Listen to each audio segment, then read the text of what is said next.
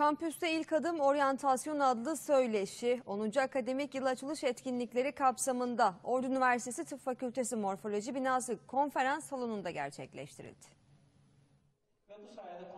Ordu Üniversitesi'ne yeni gelen öğrencilere bu yeni ortama uyum sağlamaları ve onların çeşitli sorunlarına destek olunması amacıyla söyleşi düzenlendi. Söyleşide motivasyonlarını artıracak bilgilerle iletişimsizliği veya zayıf iletişim sonucu oluşabilecek hataları, yanlış anlamaları ve hoşnutsuzlukları nasıl engelleyebilecekleri anlatıldı.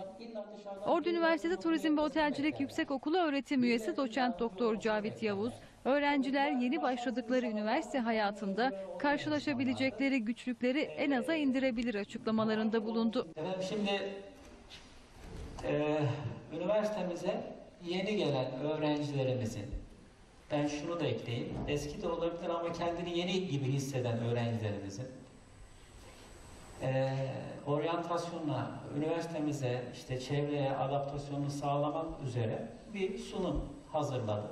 Efendim bizim için değerlisiniz.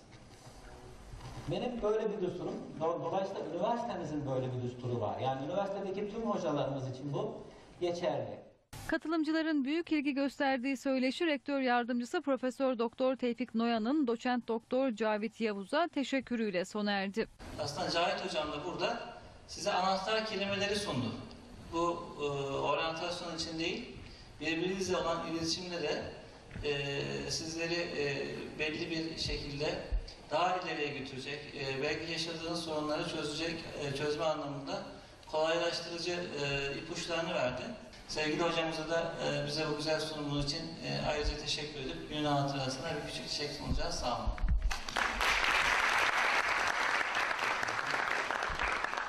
Efendim şimdi eee üniversitemize yeni gelen öğrencilerimizin ben şunu da ekleyeyim. Eski de olabilir ama kendini yeni gibi hisseden öğrencilerimizin eee oryantasyonla üniversitemize işte çevreye adaptasyonunu sağlamak üzere bir sunum hazırladım.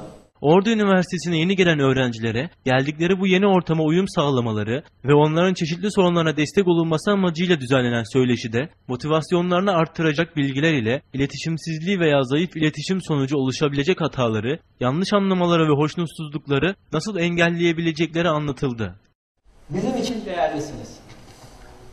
Benim böyle bir düsturum, do- dolayısıyla üniversitemizin böyle bir düsturu var. Yani üniversitedeki tüm hocalarımız için bu geçerli.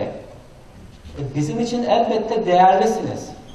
Önemlisiniz çünkü üniversitenin en önemli unsurlarından bir tanesi sizsiniz.